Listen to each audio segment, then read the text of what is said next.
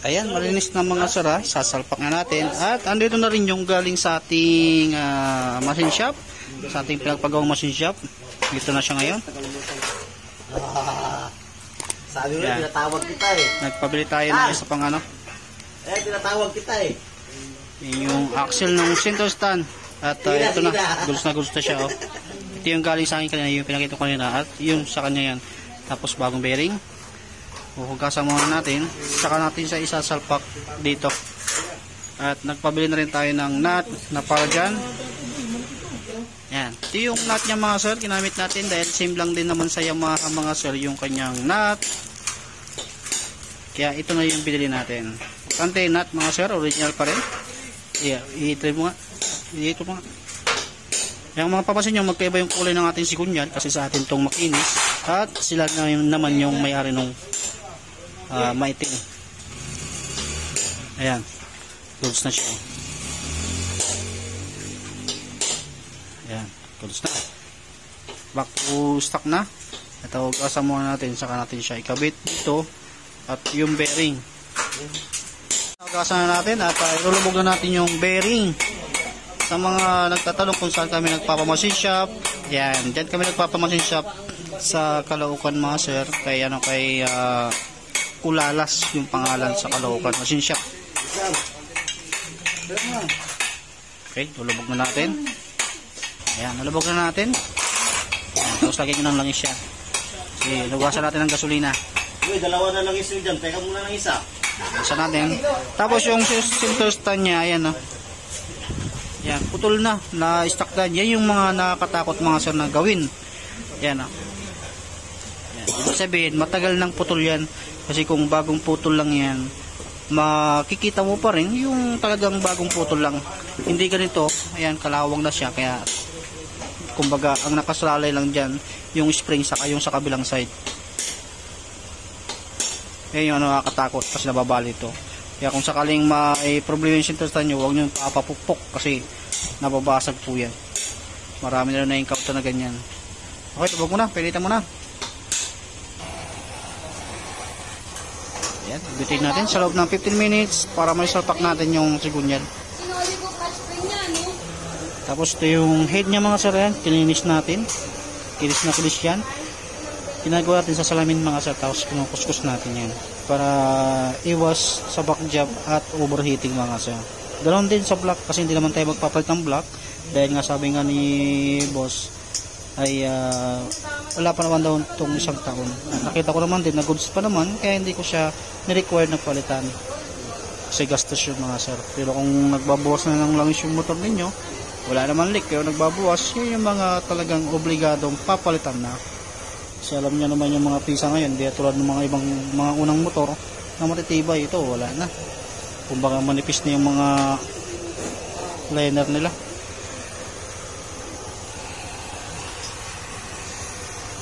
Tignan niyo si Kapulong kapag nagpapainit siya ng makina. Kasi mangot. Putang inang mukha yan. Wala mo lang. Siya na ba? Hello? Kaya smile din pag may time. Pag wala kang time, sumimangot ka na maghapon. Okay, malapit-lapit na tayo maglubog ng ating ah, sigunyal mga sir. Ha? Yung, piyat, tanggal ko kanina. Okay, maglulubog na tayo dahil mainit na. Ayan. Okay. Ayan na. Ayan. Ayan, nilabog na natin. Kasi kapag hindi natin ginamitan ng butane, hindi naman natin mailulubog. Yung sigunyal, ay tatay naman natin itong tanggalin. Kung kaya, kapag di kaya, huwag natin pilitin kasi nadidisgrasya. Okay, try muna natin painitin. Ng painitin hanggang ah, testing natin. Kung kayang bumaba yung naputol na center stand kapag di kaya huwag na natin pilit kasi imbis na magamit yung motor hindi magagamit kasi mababasag. Ah lumulubog. Ayan goods. Lagay mo lang is yan mga sara sensitive to mga sara kaya dapat dahan-dahanin nyo lang siyang pukpukin hanggang sa lumabas. Huwag nyo i-perse na isang lagapakan lang baka kasi madisgrasya yung crankcase natin. Mapapaaray tayo dyan. Siyempre tayo nakasira tayo din ang magpapagawa dyan mga sir kaya dapat alalay lang. Kasi hindi naman nakukuha sa mabilisan yan. Yun. Mhm. Ayun natanggal natin. Salamat naman natanggal kaya mga kapit natin problema natin yung isa pa. Yung stand naman. Kung kaya yan dyan tayo mahihirapan kasi back, pure bakal yan. WD-14 muna lang. Ha? Try mo lang pag di kaya at least sa makina safe. Ayan magkano lang naman yan mura lang naman yan.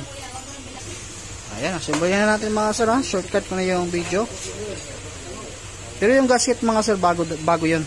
Ilalagay natin. Kasi hindi natin pwedeng ibalik yung luma kasi overheat po yun mga sir.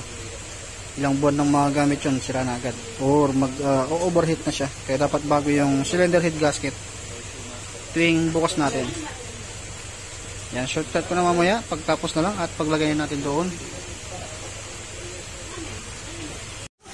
Tapos na natin yung makina mga sir na i-overhaul or bowin yung kanyang sintustan mga sir di natin binalik na. Importante natanggal natin yung ah, nandito na nag-stack up. Yan natanggal natin. Yun ang importante doon. Kasi yung kaputol na nandun sa center stand mismo hindi na matanggal. Eh kung tatanggalin pa natin yon baka magkaroon pa ng problema. Ibigay mo na lang yan. Para pagkano i kuha na lang yan. Bili na lang siya ng bago bushing okay pwede na natin pagsamahin. Goods na goods na uli oh. Back to stock na. Si stock naman talaga. Yan pagsasamahin na natin yung ano chassis sa makina. At magpapalit din tayo ng rubber link dito.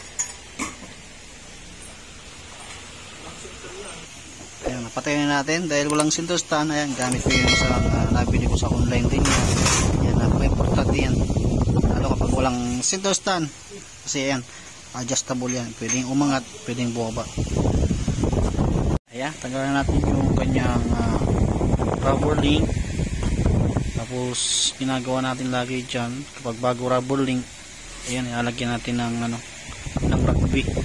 Tapos ko pa yung rugby kasi yung di tali mo. Kasi nga yung tali mainit sa parte na yan sa katagal napuputol. Sira na yung panali yung kwan sumasabay na rin sa pagtanggal eh, yung rugby. Talagang nakadikit lang dyan habang umiinit. Ayan steady pa rin dyan. Hanggang sa masira na lang o hanggang sa mapipi na lang yung, yung rubber link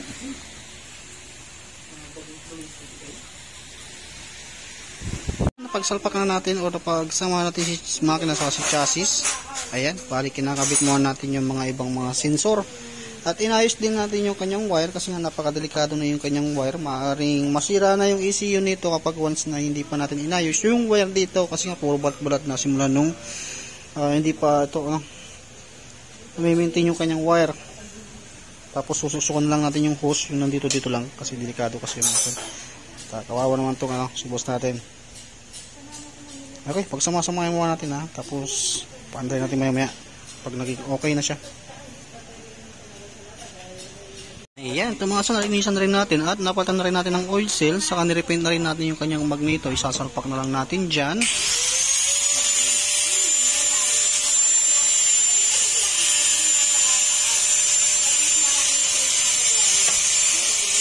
Okay na yan. Na rin natin. Hindi na tulad kanina na sobrang itim. Okay, sarpak mo natin lahat-lahat na para mapaandar na natin at makawin na rin si, sila sir. Ayan, lagyan natin ng langis, kulan. Ayan, balik natin lahat at uh, ito, maandar na rin siya. Kaso, meron pa rin siyang check engine mga sir. Dahil sira na yung panel niya. Ayan, hindi na mapindot. Hindi na gumagalaw yung mga trip. Ayan. Check engine, panel na. Problema. Kasi goods na lahat. Chinek na natin lahat ng wiring niya. Goods na. Wala nang problema. At ito nga, maandar na siya. Babalik na lang natin yung mga cover niya. Pero andyan pa rin yung check engine. Yeah, panel na problema nito. Kasi hindi lang, hindi lang mapindot. Ayan, nagbiblink na yung oras ano. Yan. Pag pinatay mo yung makina, ibalik mo uli siya. Ayan, nagbi-blink pa rin. Ayan. Ibig sabihin, sira na yung panel. Okay, balik natin lahat. Okay, balik mo. Good. Ah, tapos na. Makawin na rin sila at ah, gabi na. At uh, taga Bulacan pa.